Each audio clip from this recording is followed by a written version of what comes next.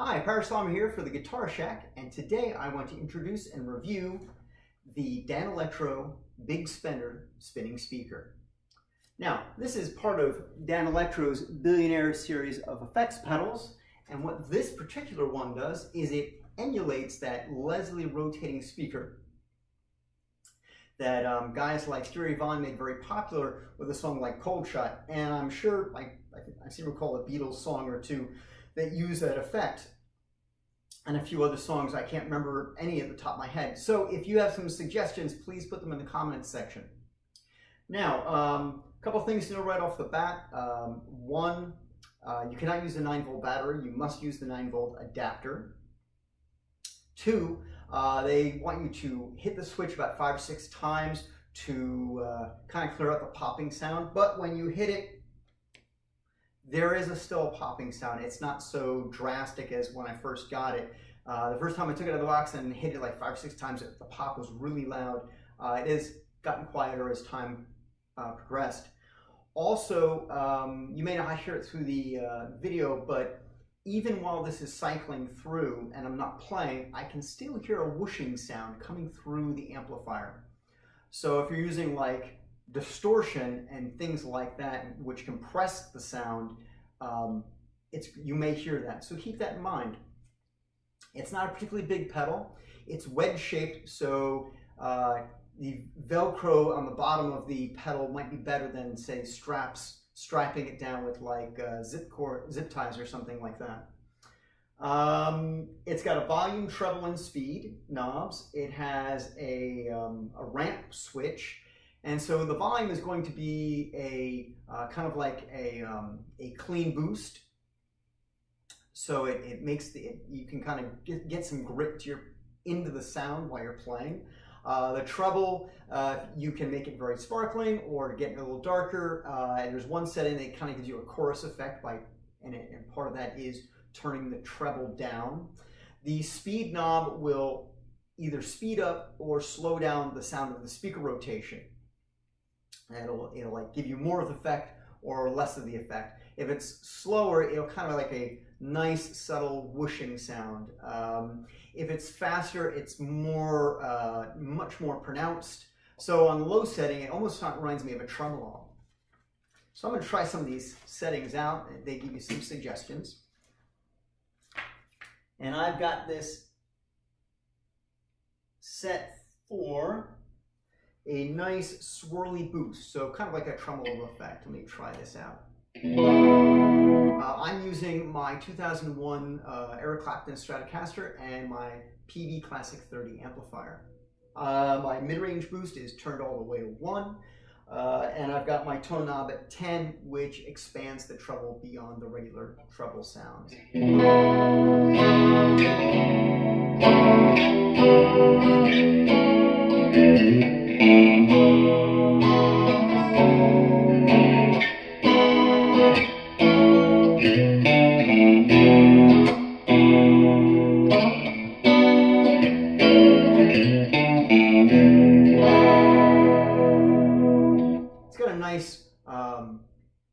Almost like chorus effect or a tremolo effect. It's pretty sweet. Um, it's useful and it doesn't seem to uh, be so present that it would be distracting.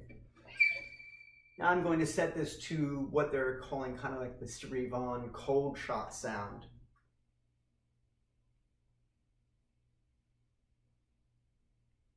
Now the green light means that it is speeding up and getting to speed.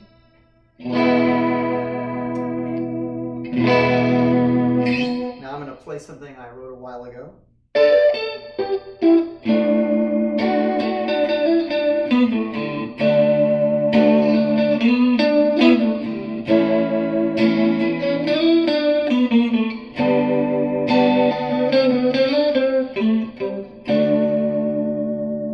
It's pretty cool.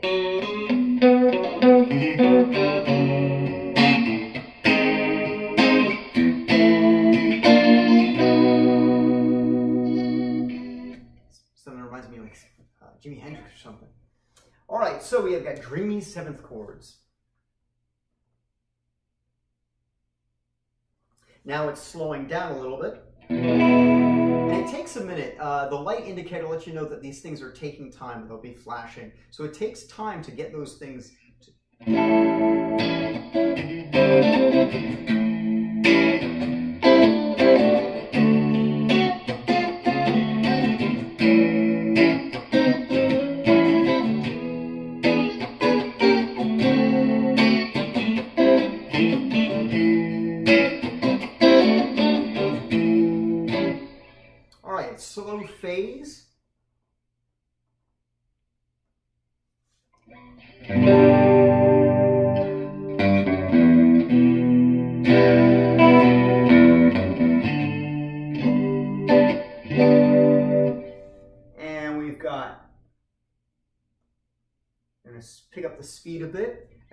it's the rotating speaker speeding up to the speed I need it to be.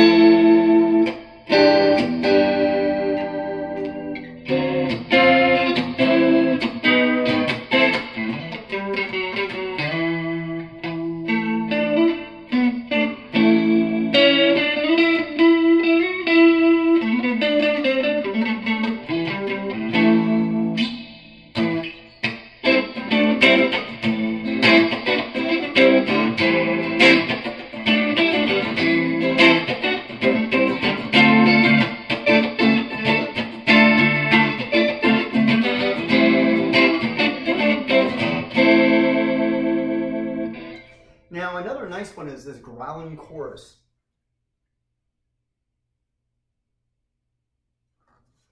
And it kind of gives you this.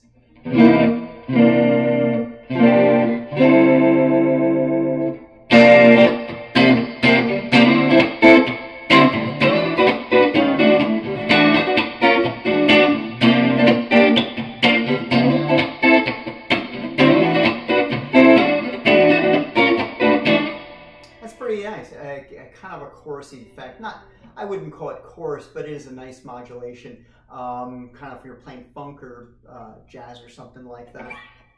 Now I'm going to turn up the speed much higher to kind of almost exaggerate the effect. In fact, yeah, I can hear the rotating speaker effect really strongly right now. I have the volume all the way up. Now, I've got really high.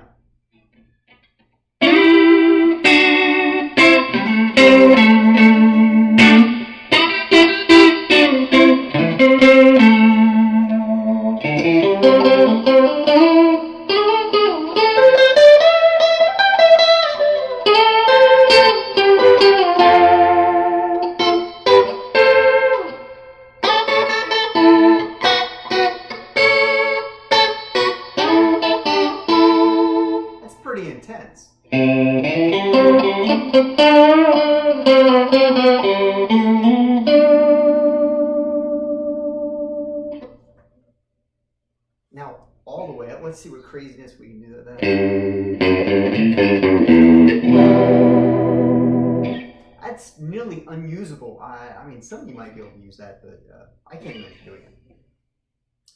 So again, this is something subtle. This is not something you're going always going to use for every setting, every song.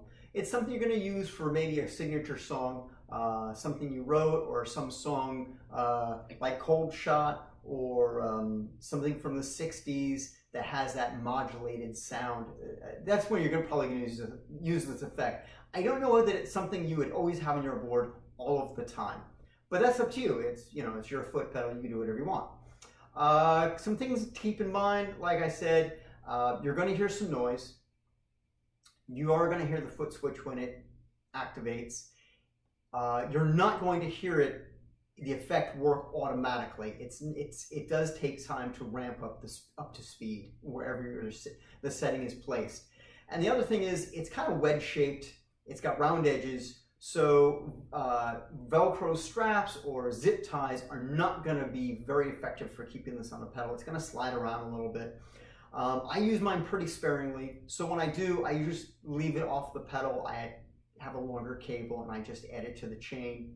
Uh, if you do plan on putting in your in your chain permanently on the foot pedal, or excuse me, the uh, the the board, the effects board, um, your pedal board, uh, I would suggest kind of Velcro tape. That's probably your best bet. Um, if you have any questions or any comments, please feel free to add them to the bottom. Any more information about uh, songs that use this, uh, some suggestions, or your experience with such devices, please feel free to add that information. I love learning more about that sort of thing. And uh, for the Guitar Shack, this is Paris Thalheimer. Until next time, have a great day and keep on playing. Thank you.